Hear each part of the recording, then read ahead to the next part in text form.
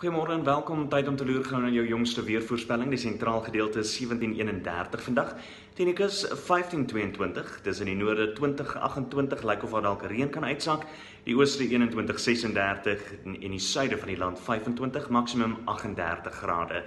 Indien jou pad is Kaapstad toe 14 en 'n maksimum van 22. Geniet jou dag.